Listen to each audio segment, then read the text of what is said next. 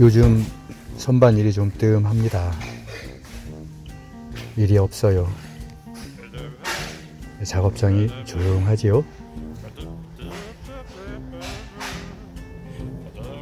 팽팽 돌아가던 선반 소리가 조용히 멈추어져 있습니다. 선반이 깔끔하지요. 아, 작년에도 어, 이렇 지는 않았는데 올해 유독 일거리가 없습니다.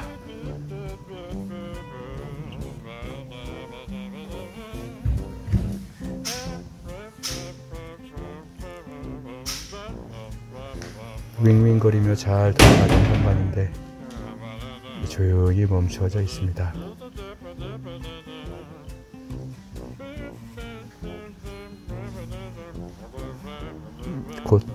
좋은 때가 또 오겠지요. 아, 보로방도 아주 깔끔하게 청소되어 있습니다.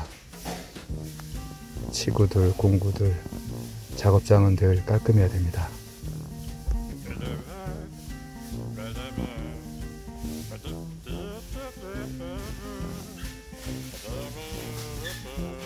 아, 이건 한 가지 팁인데요. 빗자루는 꼭 이렇게 거꾸로 세워서 보관하세요. 그러면 아마 10년도 더 쓰실 수 있을 겁니다.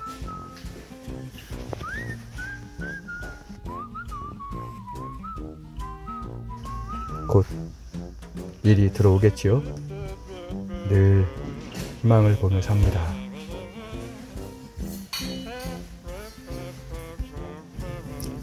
비도 오고 날도 꾸리꾸리해서 오랜만에 오딱을 해먹기로 했습니다. 밖에 나가서 또 바람 피고 그 오딱 삶는 냄새에 이 녀석들이 아주 난리가 났습니다. 새끼하고 저 뒤에 보이는 노란 녀석이 새끼 때 아주 독하게 먹이를 먹던 녀석이죠. 작년도 괜찮았는데 또 올해가 작년보다도 안 좋은 거네. 그게 더안 점점 안 좋아 사, 사장님 쪽 경기가 살아나야 뭐 항상 어? 제조 뭐 설비가 살아나는 거 아니야. 그게 다 모든 게 이게 우리가 제조업들이 이게 살아나야 되는데 음.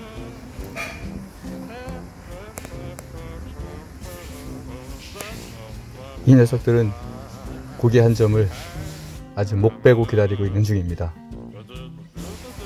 참 새끼 때 독하게 밥 먹던 녀석인데 잘 자랐어요. 많이 컸네요.